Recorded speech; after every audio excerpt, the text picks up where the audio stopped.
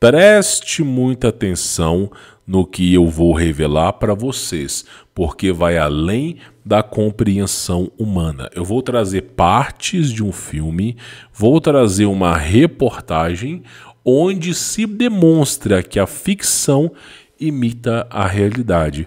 Se eu falasse para os meus avós o que eu vou noticiar para vocês, com certeza eles não teriam ido para a guerra, com certeza eles teriam desistido até mesmo de formar família, sabendo o futuro horripilante que a humanidade está chegando. Então, convido você em primeira mão, antes que as pessoas saibam sobre essa verdade, em primeira mão você verá aqui no canal. A coisa ela é sinistra, mas de antemão você já sabe. Deixa aquele maroto para ajudar a divulgar esse projeto, verifica a sua inscrição, Compartilhe esse vídeo com seus familiares e amigos e eu recomendo que você conheça o nosso curso de inteligência artificial. Aqui na descrição desse vídeo tem maneiras de você encontrar, vale muito a pena. É um curso profissionalizante que te ensina a caminhar com as próprias pernas. Está desempregado, em menos de sete dias você já aprende uma nova função. Está trabalhando, você se qualifica para o mercado de trabalho. Vale muito a pena. Possui dupla certificação, possui um certificado nacional validado e um certificado internacional validado. É um excelente curso profissionalizante que é capaz de mudar sua vida em pouquíssimo tempo a um preço acessível. E só lembrando vocês, não precisa falar inglês, não precisa ter curso superior, não precisa saber programação e nem mesmo ter um computador. Você estuda no conforto da sua casa, na hora que você quer. Basta apenas que você tenha um smartphone ou computador, mas preferência smartphone e acesso à internet que você já estuda. E assim que você finaliza, você recebe esse certificado que é válido no mundo inteiro. Poucos são as instituições que emitem esse mesmo certificado a um preço extremamente acessível. Tem grupos de alunos, tem o meu contato pessoal, vale muito a pena, tá aí na descrição. Pois bem, senhores, para eu poder lançar isso aqui para vocês, eu primeiro vou rodar esse vídeo para vocês entenderem, tá?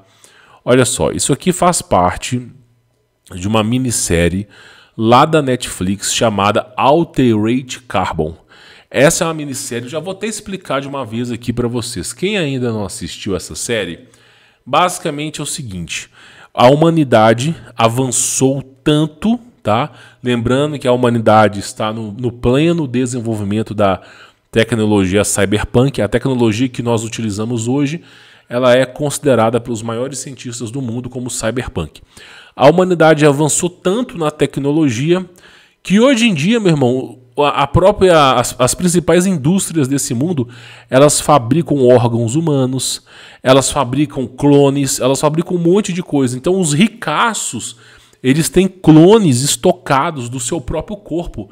Caso eles adoeçam eles vão lá e substituem partes do corpo. Ou também caso eh, eles fiquem velho eles vão lá e fazem uma cirurgia e, e tira o cérebro de um corpo e implanta no outro corpo tá então, esse é o nível dessa série. A coisa ficou tão avançada que você vai vendo nessa série que eles já conseguem substituir o corpo. Eles fazem o upgrade da, da sua consciência para outros corpos. É um nível tão avançado aí tecnológico, que é essa, essa minissérie chamada Alterate Carbon. Recomendo que você assista. É uma minissérie praticamente Beautiful People, então não, não, não espere nada menos do que lacração mas pelo menos os dois primeiros episódios para você entender que assim as pessoas utilizam. Ah as, o cara o cara é, é, é filho de gente rica ele, ele, às vezes nasceu cego nasceu com um problema de não sei o que o, o, os pais vão lá contratam a empresa e trocam o, o corpo do filho pro a, tiram a consciência do filho de um corpo e colocam em outro corpo tá? Eu sei que isso parece loucura a primeiro momento mas a própria Bíblia, ela já lançou essa profecia no Apocalipse. Os homens desejarão a morte e a morte fugirá deles. Para isso acontecer tem que ser num nível como esse, tá? Do nível como esse para mais. E aí nós temos aqui basicamente essa, esse pequeno trecho aqui, ó, da série só para vocês poderem entender. Ó. Aqui está mostrando um pequeno trecho da série, tá? Isso aqui é, foi feito para as pessoas poderem ver. E aí, sabe o que é o mais curioso de tudo? Olha só para você ver. Os caras usaram, os caras foram numa stand, uma stand profissional de empresas, né, de exposição de cientistas, exposição de tecnologia. Os caras usaram um boneco, colocaram um boneco envelopado em plástico e os caras estão lá lançando essa empresa que faz clonagem. Ou seja, os caras estão dando entrevista falando: olha, nós já estamos desenvolvendo essa clonagem, isso aqui já vai ser possível. Ou seja, os caras estão lançando isso, cara. Né? Respondendo algumas questões, a companhia produz 100% orgânico, né? Ou seja, o, o no, a, a, compatibilidade do corpo é 100%. Então, uma, uma, imagina a situação, meu irmão. Tipo assim, ah, perdeu um braço, você tem um braço reserva e não sei o quê. Então, olha o nível que a coisa está chegando, cara. Olha o nível que a coisa está chegando. E ele vai falando, ó, que eles estão desenvolvendo e tudo mais, mostra alguns exemplares, né? E que é, a ideia deles é o quê? Imortalidade. Inclusive, os cientistas russos, eles falaram que, que quem chegar vivo até o ano de 2050 não morre mais. Né? É o que os cientistas russos estão falando. Só que, na verdade, é, não é que morre mais, é porque eles estão trabalhando em cima do telômero, eles estão trabalhando em cima de uma série de coisas que vai prolongar a vida humana, tá? Ah, mas isso não é ruim? Cara, eu não acho ruim. Vou te falar o porquê que eu não acho ruim. De tanta merda nesse mundo, por que, que eu não acho ruim essa história de imortalidade? Vou te falar o porquê. Essa história que nós vivemos 120 anos não foi Deus que fez. Não foi Deus que fez. Porque a palavra de Deus ela é imutável. Deus não é um garoto mimado. Deus não é um anjo. Deus não comete erros. A palavra de Deus ela, ela é eterna, imutável. E Deus colocou na Bíblia assim: por causa da malignidade do homem, o meu espírito não contenderá com ele por mais de 120 anos. Bom, é o que está na Bíblia. Só que você começa a olhar a história da Bíblia e você vê pessoas que viveram muito mais de 120 anos após o dilúvio. Inclusive, teve pessoas recentes que viveram 130 anos no Brasil. Então, se Deus determinou 120 anos, por que, que alguém chega a 130? E aí você tem que lembrar que a Bíblia é um livro que já foi fortemente adulterado. A Bíblia é um livro que foi fortemente adulterado. Se você pegar o cemitério que está escondido é, em, lá na Rússia, na parte mais nórdica, isolada, tem um cemitério que tem pessoas com mais de 300 anos. A questão de 400, 500 anos atrás tem, tem um cemitério onde, onde se datavam que as pessoas viviam em média 300 a 400 anos. 300 anos atrás, meu irmão, mil, no ano de 1700, 1600. Então os seres humanos viviam 400 anos. E aí, será que Deus mentiu? A, a, a, hoje, pelo, pelo, pela, pela sensatez, nós sabemos que os alienígenas, os extraterrestres, os filhos do capiroto, né, porque é isso que eles são, não, não é alienígena bonzinho, tá? não é alienígena da luz, é tudo do inferno. Esses alienígenas alteraram o DNA humano. É como você pode ver as pedras estipuladas da Suméria. Eles alteraram o DNA humano. E onde que os alienígenas alteraram, além de uma, diversas coisas, né? Uh, eles alteraram o telômero humano. O telômero humano é uma, é uma função do nosso DNA que representa a nossa longevidade. Então, mesmo que você não tenha doenças, mesmo que você esteja plenamente saudável, mesmo que você esteja malhado, bombado, mesmo que o seu cabelo esteja preto, mesmo que você esteja assim perfeito, sem nenhuma doença, nada, se o seu telômero chegar ao fim, você morre assim, ó. Na hora, na hora. Chegou no limite máximo do telômero, você capota. Então, é, muitas pessoas é, que dormem nem acordam mais, porque o telômero chegou no seu limite. E isso acontece com gente com 70, 80 anos. E, eles falaram que era 120, eles estão alterando, né? Eles colocam uma coisa na gente e alteram o nosso telômero. É, e essa é a profunda e singela verdade que poucos vão entender ou acreditar. Então, basicamente, eles alteraram o nosso DNA. E aí eles vão na Bíblia lá, rabisco, faz uma, uma, uma, uma porcelanada ali, uma chapiscada na Bíblia. Aí, daqui a, daqui a mais ou menos 100 anos, vão colocar, por causa da malignidade do homem, o meu espírito não contenderá com ele por mais de 80 anos, 70 anos, depende. Depende de quanto que os seres humanos vão viver. Os ricaços vão viver muito, os multimilionários, porque eles vão trocar de corpo. Mas a galera mais pobre não. Então, basicamente, é, os escravos sempre se fodem, nós somos os escravos, né? Então, basicamente, essa história de por causa da malignidade do homem, o meu espírito não contenderá com ele por mais de 120 anos, isso aí, meu irmão, foi adulterado na Bíblia. Isso aí foi adulterado na Bíblia, não é 120 anos.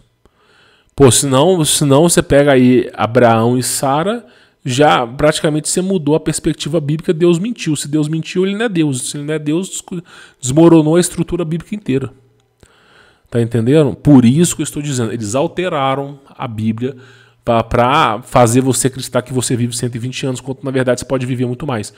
Então, o que, que os, os cientistas russos estão fazendo? Eles, eles perceberam que o telômero humano está programado programado para morrer. Então, se você altera o telômero do humano, você já não morre mais, meu irmão. Já, já, se você alterou o telômero humano, já, a primeira coisa, a sua célula não para de reproduzir. O telômero é a quantidade de vezes que a sua célula reproduz. Você está vivo porque a sua célula reproduz e a célula antiga morre. E esse percurso fica acontecendo inúmeras, inúmeras, inúmeras vezes. Só que tem um limite. Aí a, o corpo vai ficando mais velho, vai ficando cansado. Se você altera o telômero, você reorganiza o telômero, altera a sequência de DNA, você impede que isso aconteça. Ou seja, o cara que era viver 70 anos, ele pode viver 400. Por quê? Porque alterou a perspectiva do telômero. Você alterou o telômero, né? E aí começa uma nova fase de você ir contra o envelhecimento. Né? Começar a trabalhar em cima de, de novas substâncias para você não envelhecer, para o corpo permanecer jovem. Mas o principal é esse, telômero. E é, o que é a grande descoberta do cientista. Então, para mim, não é algo ruim. Eu não desejo viver 200 anos. Eu não desejo viver mais do que Deus me deu. Não desejo viver. Mas é importante dizer que essa conquista humana de poder viver muito mais do que foi excedido, nos foi informado, é, é, é, é pelo menos uma coisa boa em meia podridão. Porque você, pô, você pega um, um profeta antigo que vivia 400 anos, meu irmão, o cara com 400 anos, ele, ele, vivo, ele consegue chegar à sabedoria. Porque o cara, para começar a vida dele uma, uma merda, e depois de 70, 80 anos que ele viu a cagada que ele fez, ele começa a se consertar. Então, quanto mais tempo você está vivo, se, se demandando, você vai aprendendo. Então, por isso que uh, você pega Aristóteles, Platão, Sócrates, galera fala que viveu poucos anos, viu porcaria, nem viveram mil, mais de mil anos. Os caras se tornaram sábios porque viveu mais. O próprio Platão viveu mais de mil anos. Pega o livro dele de Antártida lá, da. É Antártida, não, da Atlântida. Porra, já, ali já declara que o cara viveu mais de mil anos. O cara viveu mais de mil. O cara, virou. O cara virou um sábio, eremita, claro. Depois de mil anos também, quem não viraria, né? Então é importante você entender. Agora, isso é uma, um ponto positivo. Agora, existem os pontos negativos. Por exemplo, né? Aqui eles estão falando de clonagem humana. Então, pô, o nível. Aí você fala, isso não existe, né? Aqui. Aqui. Já tem uma empresa. Olha aqui, já tem uma empresa. Olha aqui. Ó, Amor Duradouro. O líder mundial na clonagem de animais que amamos. Ou seja, primeiro eles colocam nos animais. A coisa é tão escandalosa, a clonagem humana, ela é tão escandalosa que eles começaram com a ovelha Dolly, né? Começaram, ai, ah, porque nós estamos fazendo um grande experimento, é um, um, marco histórico. Hoje em dia não, hoje em dia os caras com, ah, seu, seu cachorrinho morreu, você e você quer revê-lo, não sei o quê. Os caras vão lá e clonam. Vão lá e clonam. E aí você tem uma foto praticamente do cachorrinho velho e o cachorrinho novo, o mesmo cachorro. Tá entendendo? O mesmo cachorro. Então, o que, que, que tá acontecendo aqui? Eles já são capazes de clonar os animais. Então, a, a, a sociedade tem que aceitar algumas premissas. Então, primeiro, ó, primeiro vamos clonar aqui os cachorros. Depois, para introduzir na sociedade, eles vão fazer aquela, aquela, aquela questão de bom samaritano. O que, que é o bom samaritano? Pega um cara com problema de, de, de tetra, tetraplégico, um cara que não anda, um cara que tem problema motor, os braços atrofiados. Fala com o cara assim. Inclusive, isso aconteceu, tá? Fala com o cara assim: ó, Vamos, vamos pegar o seu cérebro e, e, e, e trans, transferir ele, ou pegar a sua cabeça e transferir para um novo corpo? Sério, sério. Eu, inclusive tem uma filmagem, eu não posso colocar aqui, mas tem uma filmagem que fizeram isso com, com um macaco. Pegaram, um, os cientistas pegaram a cabeça de um macaco, colocaram no corpo de outro macaco. E o macaco conseguiu mexer os dedos, tudo. Só que a reação do rosto do macaco foi péssima. É como se o macaco soubesse o que aconteceu e 15 minutos depois ele morreu. Mas ele ficou com uma cara, você vê a cara do macaco pasmado. Então, qual, qual que é a ideia deles? A ideia deles é essa, tudo por uma boa causa. Nós somos pessoas do bem, nós somos pessoas do bem. Então, o que, que eles vão querer fazer? Ah, o cara, o cara nasceu cego? Ah, vamos fazer um implante. Ah, o cara tá sem um braço? Vamos implantar o braço. Ó, oh, esse, esse senhor aqui, ele é um grande cientista, ele contribuiu com mais de quatro prêmios Nobel. Esse cara é a favor da paz mundial, só que ele tá ficando velho. Ah, vamos colocar um novo corpo para ele, né? É assim, é sempre essas causas que, que, que vai fazendo. Eles vão, eles vão normalizando a coisa desse jeito, até chegar ao ponto que a coisa já está introduzida na sociedade. Até chegar ao ponto que clonagem não é um absurdo. Você fala, ah, isso não vai acontecer. Vai. A palavra G-A-Y, você conhece essa palavra G-A-Y? Meu irmão, isso era um grande escândalo no ano de 1970. O pai que soubesse que o seu filho era G-A-Y, o cara às vezes se pulava da ponte, velho. Era um grande escândalo. Hoje tá normalizado.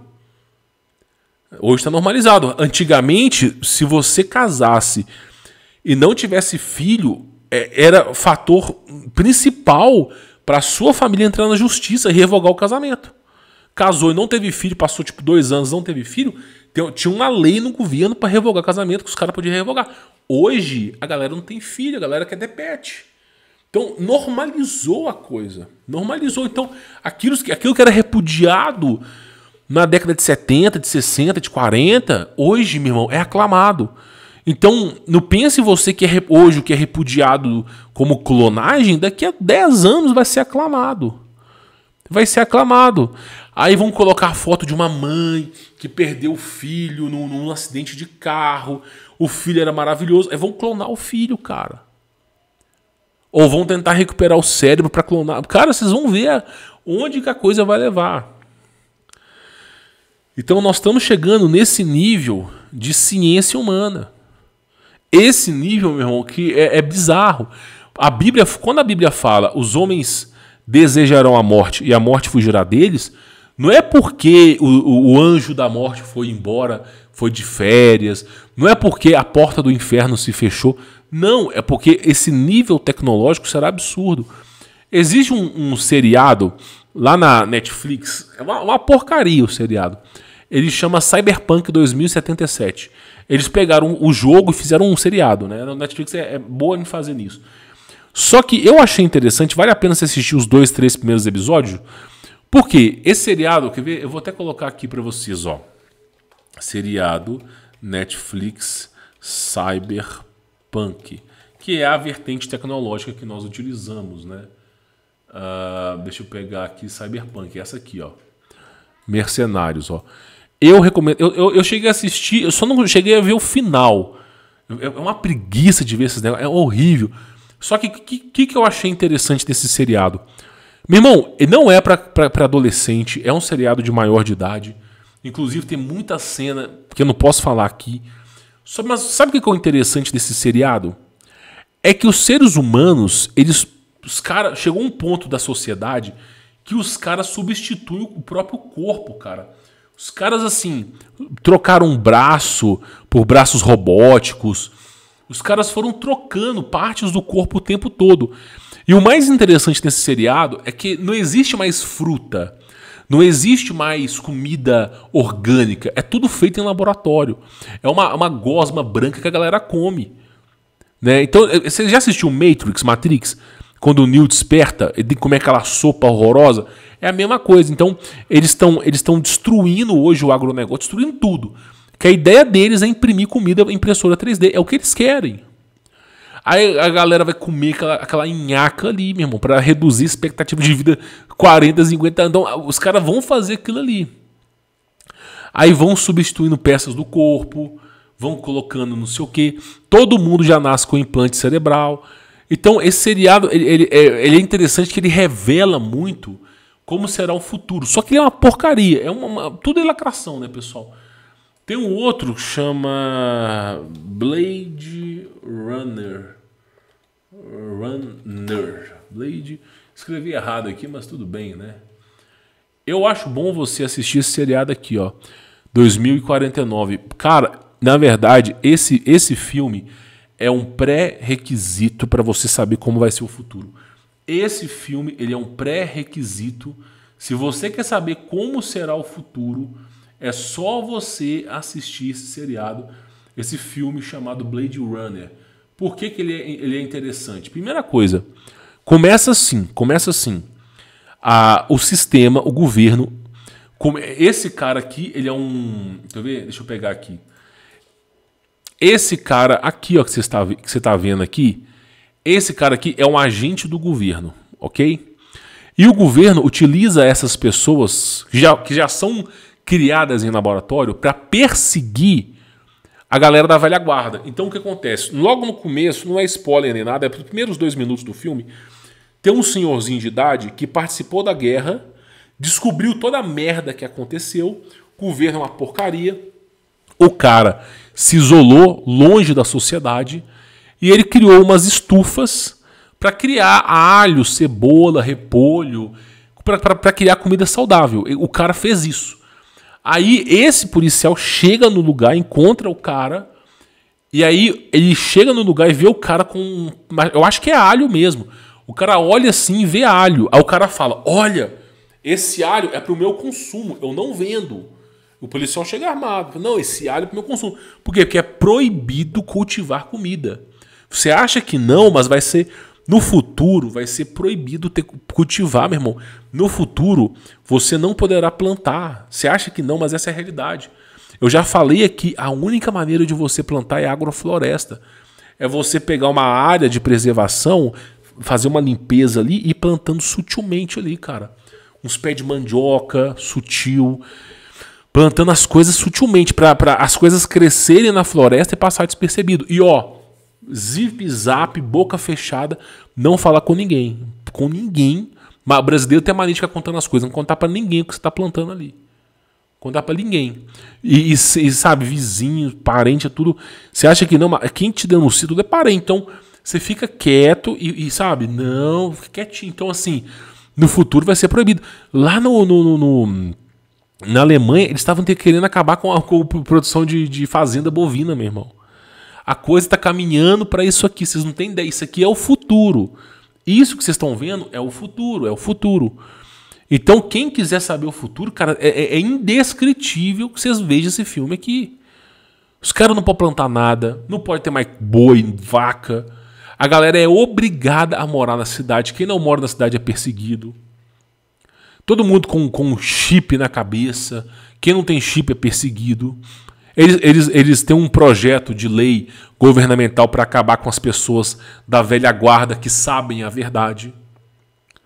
Os caras te fazem clone, fazem, utilizam inteligência artificial até o talo. Os caras criam robôs. Né? Os carros, você não dirige mais carro. O carro não existe mais direção. O carro dirige sozinho. Você não tem mais o poder de dirigir o carro. Só quem pode dirigir carro é o cara do governo. Mesmo assim, ninguém pode mais. Então, se você vê Blade Runner e você vê Cyberpunk, você vai entender para onde nós estamos caindo. Nós estamos indo, cara. Que é o futuro aterrorizante que vai vir à humanidade. E isso é interessante. Ah, meu, isso é interessante para você se preparar. Por quê? Porque você vê os filmes, você vê o erro do cara. O cara num deserto colocando estufa para plantar, meu irmão. Você tá entendendo a cagada que o cara fez? Não é assim você tem que morar numa região com verde fechada. Se você mora numa região verde fechada, né, pô, você vai lá e planta as coisas. Cara, eu vejo isso nitidamente. Nitidamente. Eu moro na roça, já já tô na minha segunda fazenda, na primeira fazenda eu cheguei a vender. Eu moro na roça e antigamente, quando acabava a luz, a gente ligava, antigamente, né? Hoje em dia é para a Companhia de São Paulo, mas lá, em Minas a gente ligava para a CEMIG. Cara, demorava de 4 a 6 horas para os caras resolverem. Ah, não, acabou a luz aí e tal. Nós estamos mandando um técnico. Não, era assim. Era assim. E eu morava no fim do mundo do Cafundel do Judas. Era assim, demorava de 4 a 6 horas. Aí, sabe o que. Acho que a câmera vai focar aqui em mim agora. Essa câmera aqui, ela, ela, ela fica focando à toa. Mas assim, era de 4 a 6 horas. Aí foi mudando. Hoje, no ano de 2024, é, eu cheguei a ficar 8 dias sem luz. Em janeiro, 8 dias sem luz. Pra você ter ideia. Pra você ter ideia. 8 dias sem luz, cara. E olha que eu, assim, eu tenho painel solar gambiarrado, tem uns trem gambiarrado aqui, mas oito dias sem luz, cara. Comunicando, abrindo 500 chamados, oito dias. Aí eu, eu, eu cheguei num, num, num, amigo meu que é fazendeiro, produtor de leite. E esse amigo meu falou assim: Cara, eu tô parando de produzir leite. Eu não aguento mais. Eu já, já comprei gerador, mas gerador não aguenta. Ele, ele falando, cara, eu fiquei 11 dias aqui sem luz. 11 dias. Os caras não vinham. E, e sabe o que é interessante? Na cidade, acaba a luz, volta em no máximo 4, 5 horas. Na roça, os caras fazem questão de não ir. Então, existe uma lei debaixo do pano no governo para não dar suporte para a roça. Por quê? Porque eles querem forçar as pessoas que moram na roça a morar na cidade. Por exemplo, polícia. Se você for roubado, meu irmão, a polícia vai demorar para chegar na sua casa. Às vezes vai no dia seguinte, se é que vai. Se você, às vezes, às vezes, por exemplo, tem um problema lá, você precisou ligar para a polícia, ah, tem um bandido aqui, meu, não, não aparece. E quando a sua propriedade é furtada, alguma coisa acontece, se alguém for, é no dia seguinte, nunca é no mesmo dia. Pra você ter ideia, tá assim. Então, é, existe um, uma força secreta governamental bem sutil para desestimular as pessoas que moram na roça. Antigamente você tinha conta de energia rural. Hoje em dia, somente uma classe específica de pessoas podem ter isso. Não é qualquer pessoa mais que pode ter. É, então, assim, eles vão mudando as leis. Por quê? A ideia deles é forçar você ir para a cidade. Eles querem a todo custo que você vá para a cidade. A todo custo, meu irmão. Eles querem de todo jeito que você abandone a, a, a, a roça e fale assim: ah, ok, a, a cidade é melhor, é mais rápido, internet não tem incentivo nenhum, nada. Tipo assim, nada. Se você, por exemplo, planta. Eu, por exemplo, tenho um pé de tomate, eu tenho um tomatinho pequenininho, cara. Uma bandejinha desse tomate é 15 reais. Que, que, é, que é vendido. Eu tenho, assim, eu chego a colher tomate pra caramba. Se eu pegar o meu tomate, for pra uma beira de uma, uma, uma BR, pra eu vender tomate, cara, eu faria aí uns 600 reais no dia. Se eu fosse vender tomate, botava uma plaquinha de tomate. Eu tenho é, é, muito Europonobres, eu tenho muito é, cebolinha, tenho melancia, eu tenho muita, não sei o quê. Se eu fosse parar, tipo assim, fizesse uma feira e parasse na BR, meu irmão, eu seria. Eu seria. É, eles confiscariam todos os meus alimentos e me aplicariam uma multa estratosférica. 2, 3, 4, 5 mil reais ah, mas por quê? Porque os alimentos eles, têm, eles não podem ser vendidos cru, eles têm que passar por uma perícia, tem que ter alguns aditivos. Ou seja, os caras não deixam eu vender um produto que não tem agrotóxico. Eles, é, é, é obrigatório que o produto tenha agrotóxico. Assim, então, é dessa maneira. Você não pode vender mais as coisas. Por exemplo, galinha. Porra, minha galinha não tem veneno nela, porra. Minha galinha, ela é de galinha de roça. Meu, se, eu vendo uma carne dessa, dá até problema para mim. Os caras, não, você não pode fazer isso. Então, o que acontece? E, e, tá chegando nesse ponto. A coisa vai chegar no ponto que eles vão impedir você de, de produzir as coisas. E aí você vai comer aquela sopa branca. Então, qual que é a ideia que eu sempre falo para as pessoas? Você tem uma janela de oportunidades. Uma janela de oportunidades, uma lacuna de talvez de 10, 20 anos, nós não sabemos, para você, porque a coisa não é de uma vez para você se, se preparar. O que, é se preparar? Pô, você, você junta uma grana. Primeiro, o primeiro fator é a salvação espiritual. Isso aqui, eu espero que você entenda muito bem a, afirmação com o Criador da Bíblia. É a primeira coisa, meu irmão, com o Messias e acabou. Aí, partiu desse ponto, você tem que ter uma, uma estrutura inteligente. O que é uma estrutura inteligente? Né? Você tem que ter grana, grana, porque morar na roça não é barato. Tudo é caro, não tem incentivo nenhum. Muitas vezes eu cansei de eu mesmo gastar do meu dinheiro mais de mil reais, dois mil reais, para contratar um trator para o cara poder limpar a estrada aqui para poder chegar na minha casa. Porque o governo não fazia absolutamente nada. Não faz, meu irmão, não faz, não entrega água. Inclusive, a primeira propriedade que eu tinha, o governo entregava água. Né? É, é, as primeiras águas que eu peguei ali antes do, de, de, fazer poço era deles. Depois o governo cancelou. O governo cancelou, cancelou todo mundo, cara, de uma vez. Ordem nacional. Então, o que, que acontece? Eles vão desestimulando. E pra você morar na roça, você tem que ser autossuficiente até o talo. O que, que é autossuficiência? Você tem que ter água corrente. Você tem que ter uma boa terra. Tem que ter, sabe? E você tem que estar tá na surdina. Você não pode ter um vizinho. Porque além dos problemas que eu, todos que eu falei, a galera na roça fica vendo Rede Globo o dia inteiro. Seu vizinho fica tomando cafezinho lá, vendo, deixando a televisão da Rede Globo ligada. Às vezes, aquela senhorinha limpando ali, ela tá desde 7 horas da manhã com a Rede Globo ligada e vai até às 11 da noite, cara. Você tá entendendo? O dia inteiro ligado. Então os caras estão recebendo doutrinação até o talo. Basta o governo começar a falar alguma abobrinha, inclusive no ano de 2020, que eu não quero nem falar o porquê, tinha num ônibus escolar, na, na minha primeira propriedade, assim, diz que denúncia, denuncie tal, tal, tal coisa, instigando as pessoas a denunciar, meu irmão. Você teve o nível que tava a coisa. Então, assim, por isso que não é bom ter, não é bom fazer amizade com vizinhos, vocês não entenderam isso. Não é bom, meu irmão. Você tem que. Então, o ideal é o quê? É você ter uma família grande. Quando você tem muitos filhos, você tem uma estrutura grande, você, é mais fácil de sobrevivência. Você sozinho, com seu pet, com seu vira-lata, você se ferrou. Então você tem que ter uma família grande, estruturada, unida, um esposo, marido, muitos filhos. Para você estruturar uma, uma, uma, uma, uma verdadeira, a verdadeira mochave, ela é, ela é do, do próprio sangue, ela não é de fora. E aí, cara, você vai fazer uma estrutura, né, autossuficiência até o talo. E tudo na calada, na surdina para ninguém encher o saco. E aí, esse é o caminho de sobrevivência. Por quê? Porque esse sistema do, do cyberpunk não vai durar muito, cara. Isso aqui não vai durar muito. Quando a humanidade, quando chegar nesse ápice, ela vai pro ralo. Não vai durar muito. Então, assim, é, é, esse período. A Bíblia fala que o período. Quando chegar a, a perseguição bíblica, é três anos e meio. É evidentemente que você não pode se basear ao pé da letra, né? Mas se você tem autossuficiência, está quietinho na sua, meu irmão, você não precisa mais para a cidade. Você, você tem autossuficiência. Eu, por exemplo, na minha segunda fazenda, conheço pessoas que, cara, o cara demora 3, 4 meses pro cara poder ir para a cidade. O cara tem tudo na roça. Tudo, planta café, planta tudo, cara. Cana de açúcar, a, o sal tem uma florzinha que dá sal. O cara tem uns porquinhos dele, então planta tudo, cara. É uma autossuficiência do cacete. Quando o cara, às vezes o cara vai pra, ro vai pra cidade assim, é para resolver alguma coisa de banco, alguma coisa. Por exemplo, não tem mais nada, entendeu? Então esse é o caminho que tem que ser feito, cara. Né? Esse é o caminho. Então fica um conselho pessoal para vocês. Mas para alcançar esse caminho, você tem que ter prosperidade financeira.